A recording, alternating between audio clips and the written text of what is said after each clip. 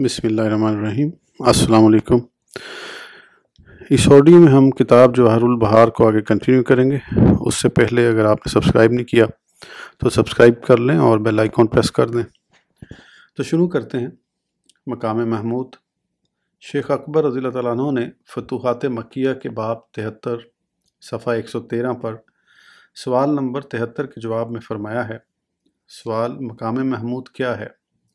जवाब मकाम महमूद वो है जो सारे मकाम की इंतहा है और उसी की तरफ़ तमाम असमाय इलाहिया नाजिर हैं।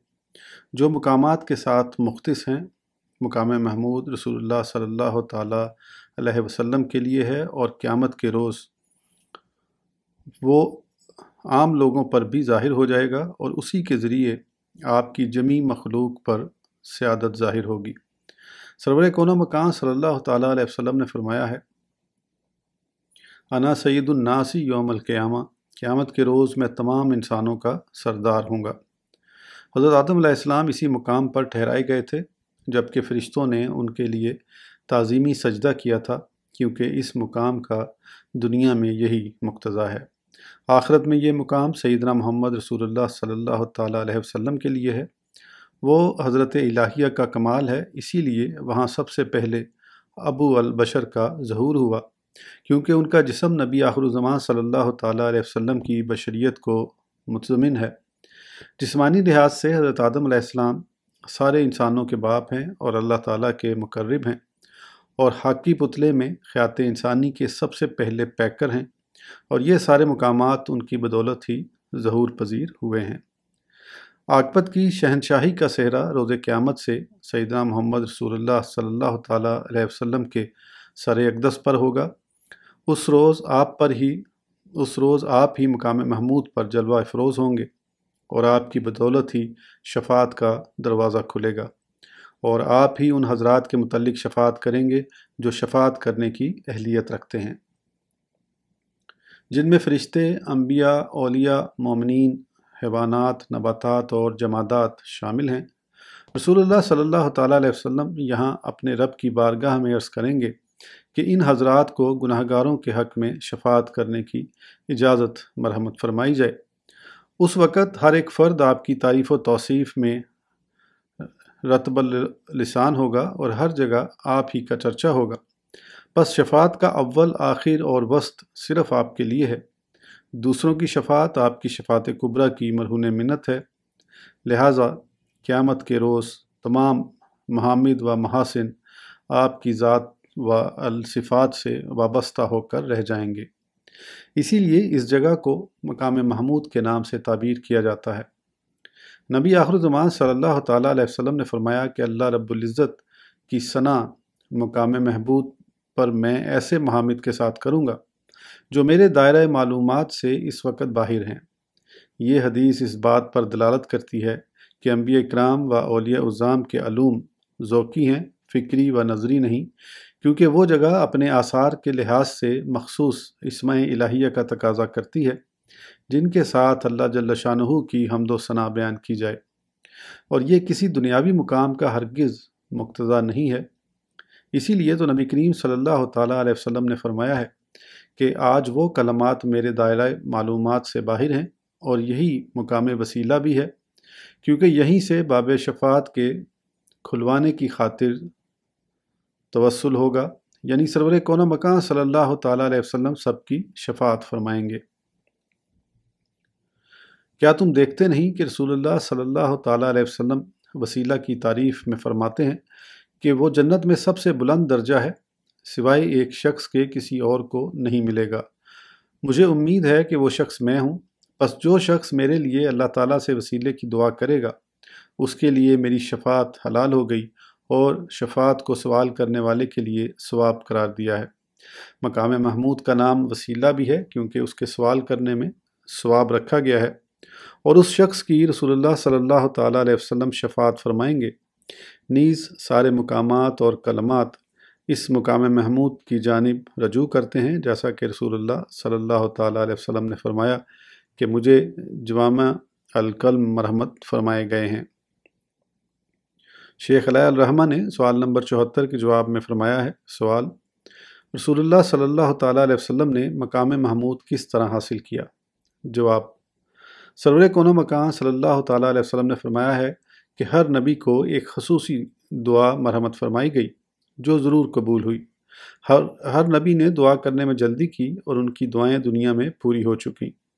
लेकिन मैंने अपनी खसूसी दुआ को अपने मरतकब कबायर उमतियों के लिए छुपा कर रखा हुआ है। वजह यह है कि नबी आहरुजमा अलैहि वसल्लम आखरत के मवातिन मकाम को दीगर अम्बिया की नस्बत ज़्यादा जानते हैं। जब सारे मकाम का मर्जा मकाम महमूद है, जो सारे मकाम का जाम है तो इसका अहल और मालिक वही फ़र्द हो सकता है, जो जवाम अलकलम दिया गया हो। क्योंकि महामिद कलाम की सिफत हैं। जब आपकी बासत आम है तो आपकी शरीयत भी आम हुई, जो तमाम शराइ की जाम है। बस आपकी शरीयत, उन जुमला आमाल व अफ़ाल को मुतमिन हुई जिनकी मशरूत सही है। ये जानना ज़रूरी है कि आमाल की जिनसें अस्सी और सत्तर के दरमियान हैं, यानी एटी या और सेवेंटी, जो इससे कम या ज़्यादा नहीं होंगी और ईमान की सत्तर से कुछ ऊपर शाखें हैं, जिनमें से अदना काम यह है कि तकलीफ़ दह चीज़ को रास्ते से हटा दिया जाए और सबसे आला ला का इकरार है। नेक अमल करने वालों के बारे में अल्लाह ताला ने फरमाया है।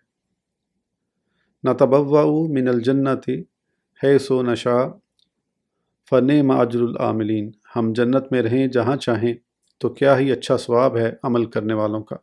बस जन्नत में उनके लिए किसी किस्म की रुकावट या ममानियत नहीं होगी, और ये उस शख्स के लिए है जिसने हर हुक्म पर अमल किया।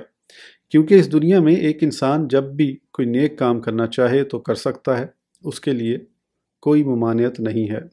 जो भी ईमान के मुताबिक अमाल हों, जब चाहे उन्हें कर सकता है। जब नबी करीम सल्लल्लाहु अलैहि वसल्लम ने ईमान के सारे शोबे ज़ाहिर फरमा दिए, जो जन्नत के मस्कूरा दर्जात अमाल के मुताबिक हैं, हवा वो बिलफ़ेल हों या बिलदलालत, क्योंकि फ़ख्र दो आलम सल्लल्लाहु अलैहि वसल्लम ने अपनी उम्मत के लिए राह हिदायत वाज फरमा दी है बस जितने सादतमंद भी आपकी तालीम के मुताबिक ने कमाल करेंगे, उन सब के मजमू के बराबर आपको भी स्वाब मिलेगा। और आपकी उम्मत में से कोई शख्स भी नेक अमाल से तही दामन नहीं है। बस उतना ही नबी करीम सल्लल्लाहु अलैहि वसल्लम के मीज़ान अमल में शामिल होता चला जाता है। जितना के अमल करने वाले नेक अमाल करते हैं। बस आप जन्नत में जहाँ चाहें तशरी फरमा हो सकते हैं, लेकिन ये आपके सिवा दूसरों के लिए दुरुस्त नहीं है, क्योंकि कुर्ब इलाही हासिल करने के रास्ते आपने ही ज़ाहिर फरमाए, जिनसे दुनिया का गोशा गोशा रोशनास होकर जगमगा रहा है। इसी अदीमुल नज़ीर कारनामे के बायस आपने मकाम महमूद पाया जवाल जवाम अलकलम से नवाजे गए और बासत आमा के बायस आपको इन उखरवी अनायात से सरफराज फरमाया गया है। चूँकि ये मकाम आपको दुनिया में हासिल थे और दुनिया में मस्कूर का अहवाल से मुतसिफ होने के बायस आपने इन अली तरीन उखरवी मकाम को हासिल कर लिया। ये अजीब व गरीब मामला है कि मस्कूरा वजह के अलावा इसके और भी मुख्तलिफ़ वजूह हैं, जिनसे आपकी ज़ात मुक़दस का इरफान हासिल होता है। मुकाम मुस्तफ़ा। शेख अकबर रज़ी तु ने सवाल नंबर पचहत्तर के जवाब में फ़रमाया है। सवाल नबी करीम सल्लल्लाहु अलैहि वसल्लम के मुकाम और दीगर अम्बिया कराम के मुकाम में कितना फ़र्क है? जवाब, आपके और दीगर अम्बिया कराम के दरमियान सिर्फ़ एक आम फ़र्क है और उस मुकाम का नाम एन जमीयत है। लेकिन उस मुकाम की तफरीक करें तो आदम आसमाम के सिवा आपके और बाकी अम्बिया कराम के दरमियान अठहत्तर दर्जे, यानी सेवेंटी एट दर्जे और मुकाम हैं, जबकि आदम और आपके माबेन वही फ़र्क है जो ज़ाहिर और बातिन में होता है। दुनिया में सईदना मोहम्मद रसूलुल्लाह सल्लल्लाहु अलैहि वसल्लम हज़रत आदम आसमाम के बातिन हैं और आदम आसमाम आपके ज़ाहिर हैं और दोनों से ज़ाहिर व बातिन का वजूद कायम है। लेकिन आखरत में हज़रत आदम आसमाम आपके बातिन और नबी करीम सल्लल्लाहु अलैहि वसल्लम हज़रत आदम आसमाम का ज़ाहिर होंगे और दोनों से आखरत में भी ज़ाहिर व बातिन का वजूद कायम रहेगा। ये है सईदना मोहम्मद रसूलुल्लाह सल्लल्लाहु अलैहि वसल्लम के मुकाम और दीगर अम्बिया कराम के मकाम में फ़र्क। इस फ़सल में बहुत ज़्यादा तफसीलात हैं। इस तफसील के फसूल अम्बिया कराम की तादाद के मुताबिक एक लाख चौबीस हज़ार तक पहुँचते हैं, क्योंकि इसके लिए हर नबी के मनसब का तयन ज़रूरी है, जो फ़ख्र दो आलम सल्लल्लाहु अलैहि वसल्लम और उस नबी के मुकाम की मार्फत का मुहताज है। जबकि अमाल के लिहाज से सारे मकाम की तादाद सत्तर से कुछ ज़्यादा में मकसूर है कभी तो किसी नबी को इनमें से एक मुकाम हासिल होता, किसी को दो, किसी को दस, नौ या आठ। बास को इनसे ज़्यादा और बास को कम भी हासिल होते हैं, लेकिन इन सारे दर्जात का मजमू सरवर कौन मकान सल्लल्लाहु अलैहि वसल्लम के सिवा किसी नबी को हासिल नहीं है। इसीलिए तो आपके सिवा किसी भी नबी की बासत आम नहीं है, बल्कि आपके सिवा जुमला अम्बी अकराम रहमसलाम की बासत ख़ास है, जैसा कि अल्लाह ताला ने फरमाया है। लिकुल्लिन जअलना मिनकुम शिरअतम व मिनहा, व मिनहाजा, वलो शाह अल्लाह ला जअलकुम उम्मतम वाहिदतन। हमने तुम सब के लिए एक एक शरीयत और रास्ता रखा और अल्लाह चाहता तो तुम सबको एक ही उम्मत कर देता। लवा अलहमद शेख अकबर रज़ी तु ने सवाल नंबर छिहत्तर के जवाब में फरमाया है। सवाल, लवा अलहमद क्या है? जवाब, लवा अलहमद तो हमद की हमद है क्योंकि वो महामिद व महासिन का कामिल व मुकम्मल और अला मरतबा है। इसीलिए सारे इंसान इसके नीचे जमा होंगे क्योंकि ये बादशाह के मरतबे और वजूद की अलामत है। इसी तरह हमद की हमद के पास तमाम महामिद जमा होंगे क्योंकि सही हमद वही है। जिसमें किसी अहतमाल और शक शुबे का दखल ना हो। और ये बिला रेब हमद है, जो हमद पर बज़ात दलालत करती है।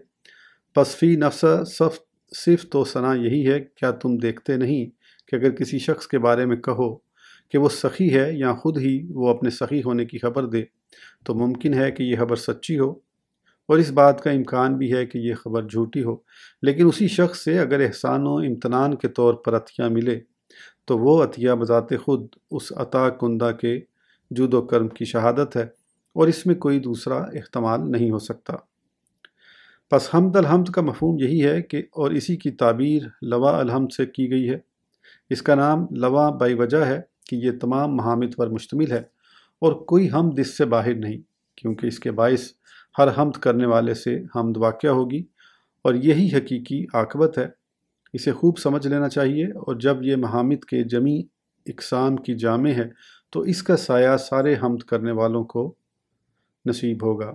इसीलिए सरवर कौन मकान सल्लल्लाहु अलैहि वसल्लम ने फरमाया है कि आदम सलाम और उनके अलावा सारे मेरे झंडे के नीचे होंगे। यहाँ आपने फमन दून ही फरमाया है, क्योंकि हमद बग़ैर इसमा के मुमकिन नहीं और आदम सलाम तमाम इसमा के जानने वाले हैं। बस उनसे कम रुतबे वाला कोई ऐसा न रहा जो उस झंडे के नीचे ना हो, क्योंकि ज़रूरी हुआ कि वो इन इसमा में से किसी न किसी इसम के साथ हमद बयान करेगा और क्यों ना हो जबकि, जब आखरत की बादशाही मोहम्मद रसूलुल्लाह सल्लल्लाहु अलैहि वसल्लम के लिए साबित हुई तो जामा अलकल मरहमत फरमाए गए हैं, क्योंकि आप ही हर शय के, की असल हैं और इस मनसब से ख़बरदार, आप इस मनसब रफ़ी को उस वक़्त से जानते हैं जब आदम इस्लाम पानी और मिट्टी में थे। और ये इनाम इस तख्लीक के बाद नहीं हुआ जब आदम इस्लाम को दूसरे मरहले में तमाम इसमा का इल्म अता फरमाया गया। तो अवलियत बहर सूरत मोहम्मद रसूलुल्लाह सल्लल्लाहु अलैहि वसल्लम के लिए हुई, जो उनसे भी पहले जवाम अलकलम मरम्मत फरमाए गए। और तमाम इसमा भी जवाम अलकलम का एक हिस्सा हैं, चूँकि वो ज़ाहिर में रसूलुल्लाह सल्लल्लाहु अलैहि वसल्लम के एन न थे, इसलिए वो असमा के साथ ज़ाहिर हुए, क्योंकि वो इनके लायक थे। बस ये नुए बशर में सबसे पहले वजूद का लिबास पहनने वाले से ज़ाहिर हुए, जो आदम इस्लाम हैं। बस वो नबी करीम सल्लल्लाहु अलैहि वसल्लम की नियाबत में मलाइका के दरमियान साहिब लवा करार पाए, क्योंकि खाकी वजूद के लिहाज से उन्हें सारे इंसानों पर तकदीम हासिल है। लेकिन जब सईदना मोहम्मद रसूलुल्लाह सल्लल्लाहु अलैहि वसल्लम रौनक आराए गीती हुए तो चूँकि आप इस शहनशाही और लवा के सबसे ज़्यादा हकदार हैं, लिहाजा लिहाजा क़्यामत में आप असल हकदार के तौर पर आदम इस्लाम से इस लवा को हासिल कर लेंगे। बस आदम इस्लाम और उनके सिवा सारे नबी करीम सल्लल्लाहु अलैहि वसल्लम के इस झंडे तले होंगे और फरिश्ते भी आखरत में इसी के ज़ैर साया होंगे, जो आदम इस्लाम के ज़माने से इस झंडे के नीचे चले आ रहे हैं। बस इस मनसब रफ़ी से सरवर कौन मकान सल्लल्लाहु अलैहि की खिलाफत जमी मौजूदात पर ज़ाहिर वाज हो गई। वसीले के साथ खसूसियत। शेख अकबर रज़ी तु ने मस्कूरा बाप के सफ़ा 128 पर फरमाया है कि हमारे शेख अबू अब्बास बिन अरीफ सन्हाजी रहमत यूँ दुआ किया करते थे कि अल्लाह, तूने हमारे लिए नबूत और रसालत का दरवाज़ा तो बंद कर दिया है। लेकिन विलायत का दरवाज़ा बंद नहीं किया है। ए अल्लाह, तेरे नज़दीक, जो विलायत का आला दर्जा है, जब भी तू किसी फ़र्द को उस पर फाइज करने का इरादा फरमाए तो वो मनसब मुझे रहमत, मरहमत फरमा देना। शेख मौसूफ चूँकि सुमरा महक्कीन से थे, लिहाजा उन्होंने उसी चीज़ का सवाल किया, जिसका हसूल मुमकिन है, क्योंकि नबूत और रसालत ऐसी चीज़ है जिसका अगरचे आज भी इंसान मुस्तक है, क्योंकि उसकी ज़ात में इसकी अहलियत मौजूद है, लेकिन उन्होंने ये देखते हुए कि अल्लाह ताला ने शरण इसका दरवाज़ा बंद किया हुआ है और शराय की नबूवत देने का ख़ात्मा हो चुका है। तो इस चीज़ का सवाल ही नहीं किया, बल्कि वो चीज़ तलब की, जिसके तलब करने का उन्हें हक हासिल था, क्योंकि अल्लाह जलशानहू ने हमारे लिए विलायत का दरवाज़ा बंद नहीं किया है। मस्कूरा कबील ही से वसीले का सवाल करना है। अगरचे वो इसके मिसल नहीं, लेकिन इसके करीब ज़रूर है। और हमने इस करीने की वजह से नबूवत के साथ वसीले को तशबी दी है, क्योंकि ये जन्नत में एक आला दर्जा है जो एक फ़र्द ही को मिलेगा। और रसूलुल्लाह सल्लल्लाहु अलैहि वसल्लम ने फरमाया है कि मुझे उम्मीद है वो शख्स मैं हूँ। बस जिस शख्स ने मेरे लिए वसीले की दुआ की, उसकी शफात ज़रूर की जाएगी। इसके बावजूद अगर हम में से कोई शख्स वसीले का अपने लिए सवाल करे तो उसने ऐसी चीज़ का सवाल किया जिसके तलब करने का उसे हक हासिल नहीं है। इसकी तलब वही कर सकता है जो इसके मुताबिक ख़ास सिफ़ात का मालिक हो। और हमारे बारे में अल्लाह रब्ज़त ने यूँ इरशाद फरमाया है वब तगु वसीला और इसकी तरफ़ वसीला ढूंढो। अल्लाह ताला ने यह नहीं फरमाया कि मुझसे वसीला तलब करो और ये ऐन मुमकिन है कि मस्कूरा हुक्म से तवसल मुराद हो और ये सिफ्त ख्वा ये मिटा हुआ है वसबी हो या कसबी, लेकिन इसे रसूलुल्लाह सल्लल्लाहु अलैहि वसल्लम के साथ मखसूस नहीं फरमाया गया और ना इसके तलब करने से किसी को रोका गया है, बल्कि इस वसीले को तलाश करने का हुक्म दिया गया है और ना यही फरमाया गया है कि यह वसीला तलाश करना सिर्फ़ उसी का हक है जो नुए बशर में सबसे अफजल हो। हालाँकि हम इस बात का यकीन रखते हैं कि सईदना मोहम्मद रसूलुल्लाह सल्लल्लाहु अलैहि वसल्लम ही अफजलबशर हैं, क्योंकि अल्लाह ताला ने उनकी अफजलियत कतई तौर पर बयान फरमाई है। लिहाजा अवलुल्ज़िक्र सवाल दूसरों के लिए ममनू होगा। रहा वसीला तलाश करने वाला मामला तो ये अल्लाह ताला ने किसी मुन फ़र्द के लिए नहीं फरमाया, और ना ये कहा कि ये सिर्फ़ सिर्फ़ एक फ़र्द को हासिल होगी, बल्कि ये सिफ्त अगर हज़ार अफराद में पाई जाए तो हर एक के लिए वसीला साबित होगा, क्योंकि इस सिफ्त को तलाश किया जाता है। जब शारा से इसकी ममानियत वाक़ नहीं हुई तो हमारे लिए भी इसके तलाश करने की गुंजाइश है। लेकिन सरवर कौन मकान अलैहि वसल्लम की बारगाह का अदब एहतराम हमें इसका सवाल करने से बाज रखता है, क्योंकि आपके ज़रिए ही तो हमें राह हिदायत नसीब हुई है, और आप ही ने हमें यह हुक्म दिया है कि मेरे लिए अल्लाह ताला ने, अल्लाह ताला से वसीला तलब किया करो। बस आपके अदम अहतराम इसार मरवत और मकार में अखलाक का यही तकाजा है कि इसका अगर हमें हक भी हासिल हो, तब भी इस इर्शाद ग्रामी के पेश नज़र। हम आपकी खातिर अपने हक से दस्तबरदार हो जाएँ, क्योंकि अल्लाह ताला के नज़दीक जो आपका बुलंद तरीन मनसब है, उसके पेश नज़र। मुनासिब यही है कि वो आप ही के शायान शान है और इस नज़रिए के बायस हमें उम्मीद वासिक है कि जन्नत में हमारे लिए वही कुछ होगा जो इस दर्जे के मुमासिल है। जैसे दुनिया में किसी शरी हुक्म के तहत हमारे नज़दीक मिसल की कीमत होती है। वसीला की मिसल हमारे लिए इस तरह भी है कि लफ्ज़ी तौर पर हमारे और सल्लल्लाहु अलैहि वसल्लम के दरमियान ईमानी अखुवत मौजूद है। अगरचे आप ऐसे सरदार हैं कि आपका मद्द मुकाबिल होना तो दूर की बात है। कोई आपकी गर्द राह को भी नहीं पा सकता।